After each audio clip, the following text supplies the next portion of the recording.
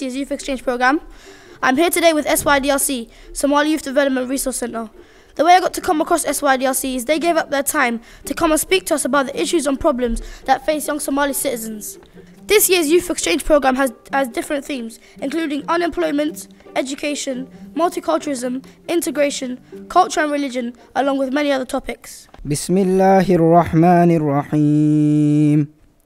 ونحن أقرب إليه منكم ولكن لا تبصرون فلولا إن كنتم غير مدينين وأشهد أن لا إله إلا الله وحده لا شريك له وأشهد أن محمدا عبده ورسوله. أما بعد السلام عليكم brothers sisters and respected elders. This kind of exchange is crucial because it's all about changing ideas, it's all about networking, it's all about developing the mechanism that we all need um, to prosper. So it seems really fitting to be here now, um, welcoming people from not just the UK but from Denmark and other countries who are celebrating the work and talking about how the Somali community um, can work together. Integration does not mean assimilation. Integration means that your, your language, your music, your culture, your poetry, your way of dress, and indeed your food is what makes you who you are. In Holland, you face real challenges. In this country, we face real challenges, and it's not just racism. It's the economic challenges that we're facing. The EU is incredibly important to us as Somalis. The EU is the reason why we're all here today, because they took us in as refugees, and they took us in as people who were fleeing persecution and war. My family coming from a country that did not know the educational system here, but I did not let that stop me. I continued, and I'm sure you will continue to achieve the best you can achieve. If you think your nation is what defines you at the moment, it's not. It's the supranational entity, which is the European Union, which, I should add, established the human rights courts in Europe, which protects us incredibly against national uh, interests.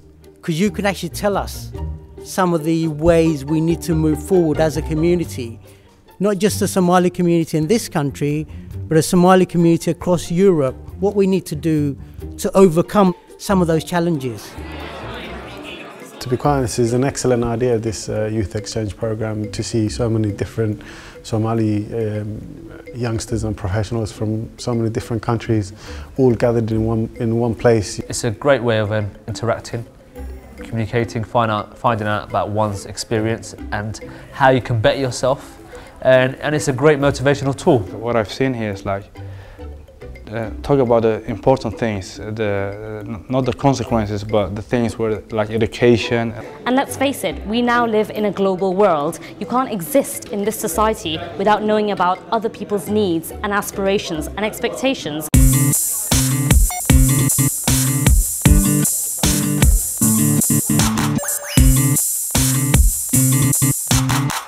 What citizenship means according to the dictionary is this. It's, well, a citizen is a person who owes loyalty to an entitlement and is entitled to the protection of a state or nation. I found this event extremely useful, especially today's workshops, because we've discussed ideas of identity, we've discussed what citizenship means. You can be an active citizen by helping them understand our society, engage with our society, and develop your own support networks, which set networks then have to be open, in my view, to the wider community to come and learn about your culture. For us to understand what citizenship means, it kind of gives us the tool to um, overcome any sort of um, negative connotations that are attached to our communities. How young Somalis represented in their host societies? I'm thinking get everyone active like work-wise, jobs, studies, whatever.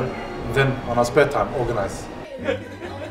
Everyone has been very active and on a high level of um, participation and the speakers, the guest speakers were very interesting in terms of uh, the discussions we had, the workshops. So it's been um, good times. The things in life, for example, we need more teachers, more nurses, more doctors. We need more businessmen and businesswomen. If you go to medical school and you become a doctor, your options are actually broader than if you don't go to medical because in medicine we have doctors who do economics. You know. When you had a, a Somalian doctor Somali council, a Somali police officer. There, there, were young people in the room who um, you can see the light in their in their eyes, and they they can they believe that they can do this. What was the trick um, in actually selling yourself to a society that is not symbolically Somali, um, but obviously have aspirations that may be similar to us? There is a, there is a whole issue around race and religion, but I think if you're candid and honest enough with people and you go to them face to face and you say to them, I want to represent you, if for, if, if, if for, for racist or racial reasons they refuse not to vote for you, then you don't want to be their local representative. I wouldn't want to be the local representative of a bunch of racists. Thank you. But that's not, you know, uh, Herban is the centre of civilization, very uh, civilized people.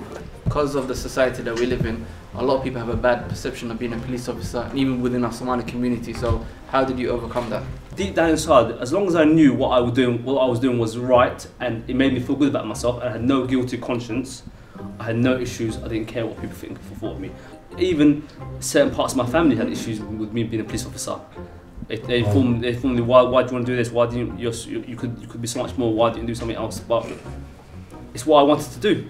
What the police officer said and the councillor said, basically, if you want to try and change things, and don't stay on the sideline and talk about it, just go in there and change it from inside. So basically, that yeah, that's what that's what we think as well in our session group in Holland.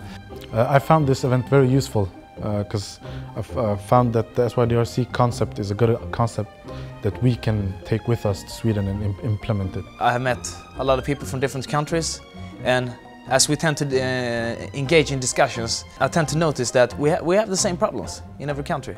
The young Somalis face similar problems.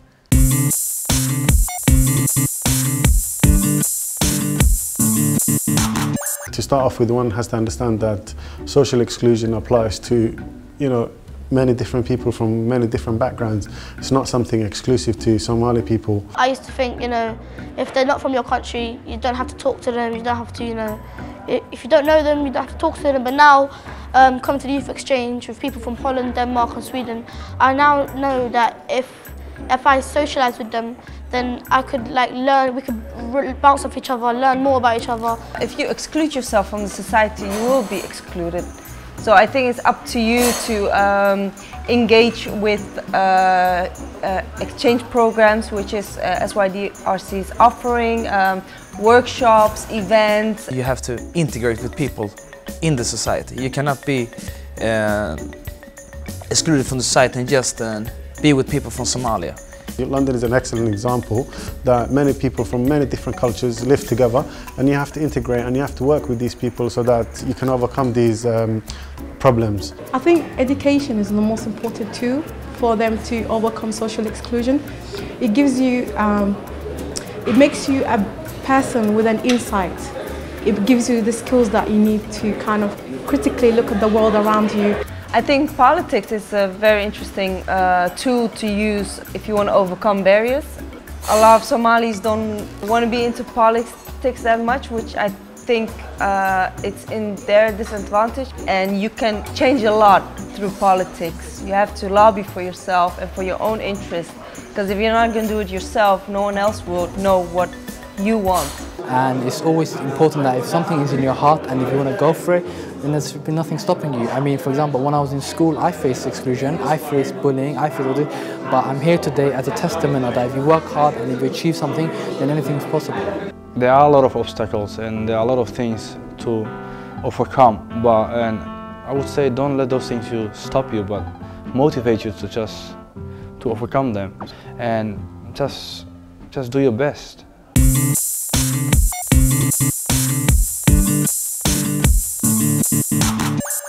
Youth exchange programs like this are incredibly important and need to continue in the future because if we stop having events like this, we will stop talking about the issues which are important to young people and stop talking about cross-culture work. So we can't let the lack of funding in the economy, the financial restraints stop us from carrying on programs like this. It's not very often that young people come out. Voting amongst young people is very low. So hopefully by young people coming here and the work that SYDRC do, it's encouraging young people to come out, to get involved, to get engaged and to actually tell us what they think we should be doing. My future aims as an individual is to become a pilot, along with, along with that being involved in my local community and some sort of capacity with SYDRC. possibly sitting on their board of trustees, and if the opportunity arises, to run for Prime Minister of the UK. SYDRC gave me the opportunity to, to host the opening ceremony and um, it really boosted my confidence hugely and you know now I think I, it's easier for, for me to socialise now. Just to see like a guy like a Jamal, 12 years old, and talking that way and so smart and I'm just, it makes me proud. It means like there's a hope for Somalis and Somalia. I would like to have uh, more opportunities to like to speak out loud to the elders, more opportunities to speak to the government, more opportunities to like speak to councillors and you know explain what's going on and the problems from a youth point of view. We really have to be talking to each other all the time to try and get the most, uh, the most out of the opportunities and to face the challenges together. And the day we stop learning from other people, I think, is the, is the day we'll collapse as a society.